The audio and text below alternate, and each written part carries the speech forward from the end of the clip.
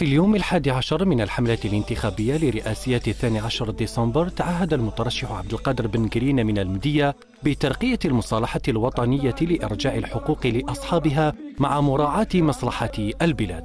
أتعهد بأنني سوف أرقي المصالحة الوطنية لإرجاع الحقوق للجزائريين اللي كانوا ينتموا إلى أحزاب أو إلى تشكيلات ولكن منحوا من حقوقهم من ظروف العمل من جوازات السفر من حقوقهم الاجتماعية وجميع الحقوق اللي لازم يتمتعوا بها كجزائريين وكجزائريات.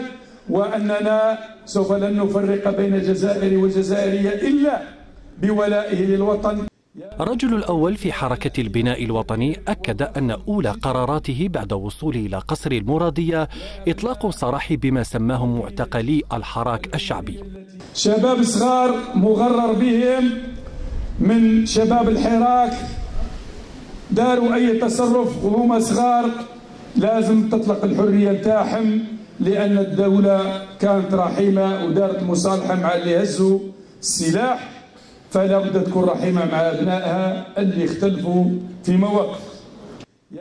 بن قرينة جدد التزامه بالتوزيع العادل للثروة على مختلف شرائح المجتمع وتوفير مناصب الشغل ومحاربة الفساد وفق استراتيجية وضح معالمها في برنامجه الانتخابي.